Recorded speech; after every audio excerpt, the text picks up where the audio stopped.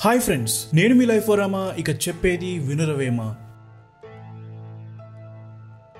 మరో సంవత్సరం ముగిసిపోయింది. ట్వంటీ ట్వంటీ వచ్చేసింది. అందరూ రెజల్యూషన్స్ అని రెడీ అయిపోతారు. ఎంతమంది గడిచిన ఈ సంవత్సరంలో అనుకున్నవి సాధించారు? పోనీ అట్లీస్ట్ కొన్నైనా సాధించగలిగారు. ప్రతి మనిషి కలలు కంటాడు. కానీ కొందరే వాటిని నిజం చేసుకుంటారు. ఎందుకంటే వాళ్ళు కలలు కనడంతో ఆగిపోరు. దాన్ని దూరదృష్టిగా అంటే ఒక విజన్ లా మార్చుకొని నిజం చేసుకున్నారు. రెండిటికి పెద్ద తేడా ఏముంది? అనిపించవచ్చు నిద్రపోతే కనేది కల.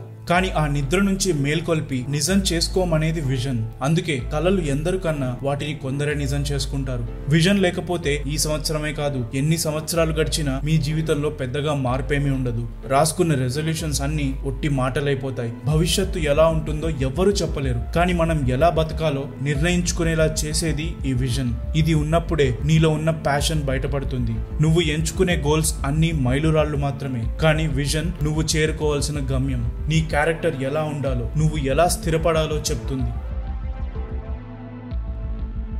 ఎందుకు నీ కలకు జీవం పోయలేకపోతున్నావు? అలసిపోయావా? లేక ఎవరైనా అడ్డుకున్నారా? అందరికీ అవే ఇరవై నాలుగు గంటలు బాధ్యతలు కమిట్మెంట్స్ అలా అని ఆగిపోతే పొరపాటు నీదే అవుతుంది. జీవితంలో దేనికైనా సెకండ్ ఛాన్స్ ఉంటుందేమో కానీ జీవించడానికి మరో ఛాన్స్ ఉండదు. అందరూ స్కూల్కి వెళ్తారు కాలేజ్కి వెళ్తారు కొన్నాళ్ళు కష్టపడి ఇష్టం లేని జాబ్ చేస్తారు. తీరా నచ్చనప్పుడు ఎందుకు ఈ పని చేస్తున్నావు అని అడిగితే చుట్టూ ఉన్న వాళ్ళు బ్యాకప్ ప్లాన్ ఏదైనా ఆలోచించి పెట్టుకోమన్నారని అంటారు. బ్యాకప్ ప్లాన్ అంటే నీ కలను దూరం చేసేది కాదు నీ కలను దగ్గర చేసేది అయి ఉండాలి. నీ దగ్గర అన్నిటికంటే విలువైనది ఒకటి ఉంది అదే నీ లైఫ్. ఎప్పుడు ఎలా ముగిసిపోతుందో తెలీదు. కానీ ఉన్నంతకాలం దాన్ని ప్రేమించు. లైఫ్ని ప్రేమించడం అంటే నీ కలను సాకారం చేసుకోవడమే. నువ్వు ఏం చేయాలో నిర్ణయించుకోవాల్సింది నువ్వే. వేరెవరో కాదు. ఇంకా సమయం మించిపోలేదు. ఇవాళే ఈ క్షణమే ఆస్ట్రోనాట్ సింగర్ ఇలా ఏం అవ్వాలనుకున్నా ఆఖరికి నీ కళ చిన్న ఉద్యోగం చేస్తూ ఫ్యామిలీతో సంతోషంగా ఉండటమైనా సరే పరిస్థితులు అడ్డుపడుతున్నాయని ఎవరో అన్నారని ఏదో చెప్పారని నీ కలను దూరం చేసుకోకు.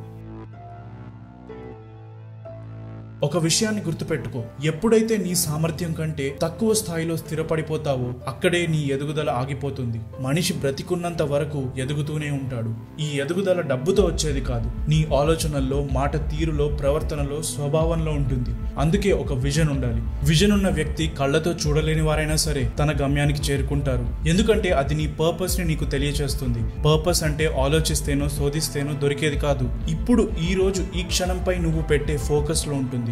రోజు ఎందుకు నిద్రలేస్తున్నావు? ఆ తర్వాత రోజంతా చేసే పని ఎందుకు చేస్తున్నావు? ఈ సమాధానాల్లో ఉంది. నీ మేధస్సుతో ఇతరులకు సహాయపడటం నీ చేతులతో వేరొకరికి తోడుగా నిలవడం ఏదైనా కావచ్చు. ఈ పర్పస్ మీ జీవితాన్ని ముందుకు నడిపే ఇంధనం అవుతుంది ఇది సరిగ్గా అర్థం చేసుకున్నప్పుడే లైఫ్ ఎంత అందంగా ఉంటుందో తెలుసుకుంటావు.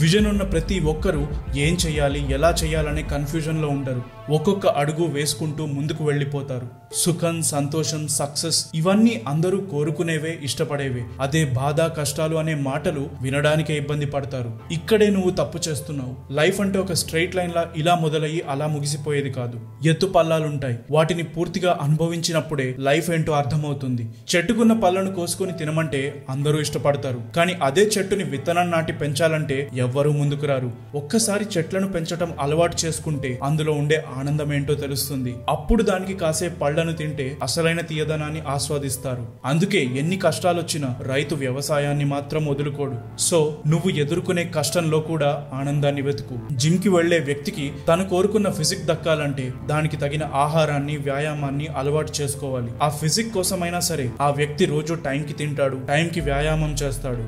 నీ యాక్షన్స్ డెసిషన్స్ అన్ని ఉద్దేశం ఉద్దేశపూర్వకం అయ్యేట్టు చూడు. నీ ఉద్దేశం బలంగా ఉన్నప్పుడే విజయాన్ని సాధించాలన్న కసి తపన నీలో పెరుగుతాయి. ఈ రెండు ఉన్నప్పుడే గమ్యంతో పాటు ప్రయాణాన్ని కూడా ఇష్టపడతావు. మరి ఓడిపోతే ఎలా అని భయపడుతున్నావా? ఓటమిని తప్పించుకోవడం జరగని పని. గెలుపనే గమ్యాన్ని చేరుకోవాలంటే ఓటమి అనే మెట్లను ఎక్కాల్సిందే. అది నీ సత్తాని బయటపెట్టి నీలో ఉన్న బలాన్ని వెలికి తీస్తుంది. మొదటి ప్రయత్నంలోనే విజయాన్ని సాధించిన వాడు పెద్దగా ఏమీ నేర్చుకోలేడు. కానీ ఓడినవాడు ఎన్నో విషయాలు నేర్చుకుంటాడు. తనలో ఉన్న బలాన్ని పరిచయం చేసుకుంటాడు. అందుకే ఒకటి కాదు రెండు కాదు మూడు కాదు ఎన్నిసార్లైనా ఓటమిని చూడు. ప్రతిసారి ఏదో ఒక కొత్త పాఠాన్ని నేర్పిస్తుంది. నిన్ను నీకు కొత్తగా చూపిస్తుంది. చీకటిలో ఉన్న వాడికే వెలుగు విలువేంటో తెలుస్తుంది.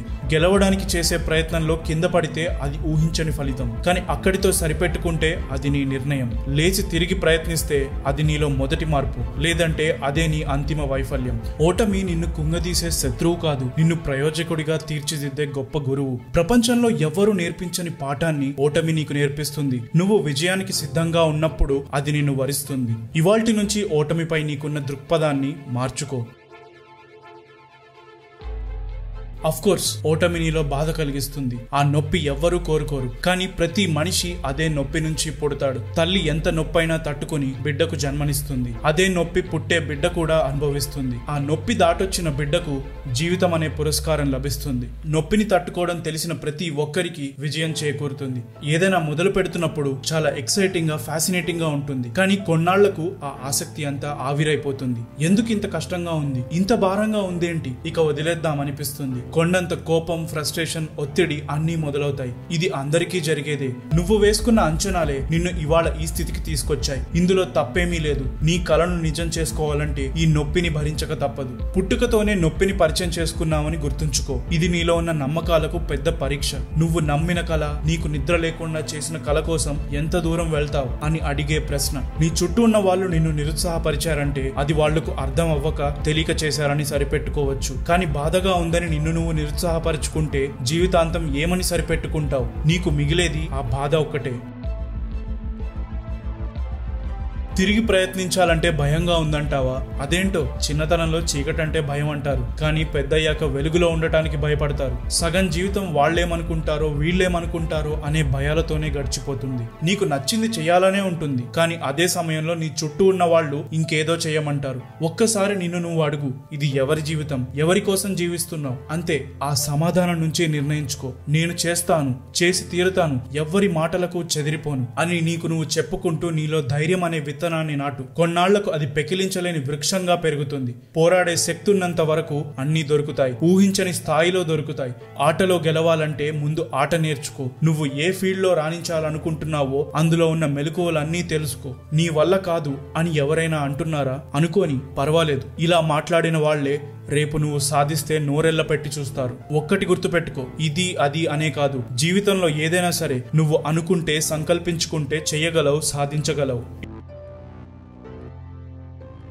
ఇంటెన్షన్ చాలా ముఖ్యం. లైఫ్లో ఏది జరిగినా అది నీలో ఉన్న ఇంటెన్షన్స్ వల్లే సాధ్యం. ఇవాళ ఇలాన్ మస్క్ లాంటి వ్యవస్థాపకుడు మనుషులను మార్స్ పైకి పంపించే ప్రయత్నాల్లో ఒక్కొక్కటిగా విజయాలు సాధిస్తున్నాడంటే అది అతను చూసిన విజన్ దాని వెనుకున్న ఇంటెన్షన్ గట్టిదవ్వడమే కారణం. సో నీ ఇంటెన్షన్స్ అంటే ఉద్దేశాల్లో క్లారిటీ తెచ్చుకో. ఇంటెన్షన్ అంటే కేవలం గోల్ మాత్రమే కాదు ప్యాషన్తో కూడుకున్న గమ్యం. దానికి నమ్మకం తోడైతే జరిగేవి అద్భుతాలు మాత్రమే. ఎందుకంటే అప్పుడు మీ ఆలోచనల్లో అనుమానాలు భయాలు అపోహలు ఏవి ఉండవు. యాక్షన్స్ మాత్రమే ఉంటాయి. ఒక్కసారి ప్రాక్టికల్గా ఆలోచించు. నువ్వు రోజు పొద్దున్నే నిద్ర లేవగానే ఇవాళ నా రోజు ప్రొడక్టివ్గా ఉండాలని అనుకో. వెంటనే ప్రొడక్టివ్గా మార్చుకోవడానికి ఉపయోగపడే పనులేంటనే ఆలోచనకు దారితీస్తుంది. అవే పనులు చేస్తావు. రిజల్ట్స్ ఇచ్చే సంతోషాన్ని ఆనందిస్తావు. ఇది ఒక్క రోజు కాదు కదా ప్రతిరోజు ఇలానే మొదలు పెడితే నువ్వు చూసుకున్న విజన్ నిజమవ్వడానికి ఎంతో సమయం పట్టదు. విజయం దగ్గర పడుతున్నప్పుడు కూడా నీలో భయం పుడితే కంగారు పడకు. నేను హ్యాండిల్ చేయలేనేమో అనే అనుమానాలు వదిలేసే. ఇదంతా నువ్వు పడ్డ కష్టాలు ఎదుర్కొన్న పరిస్థితులకు లైఫ్ ఇస్తున్న రివార్డ్ అని గుర్తించు.